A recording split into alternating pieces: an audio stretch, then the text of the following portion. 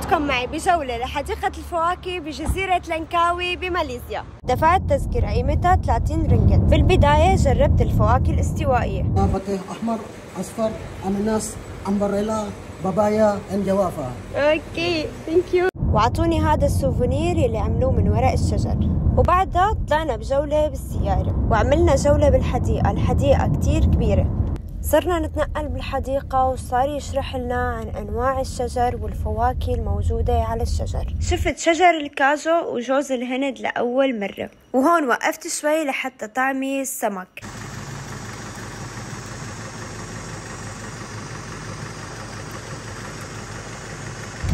وشفت الطريقة اللي مزروع فيها الأناناس. كمان شفت شجر الموز. تجربة حلوة وكتير مسلية وبنصح أي حدا جاي لنكاوي يجربها.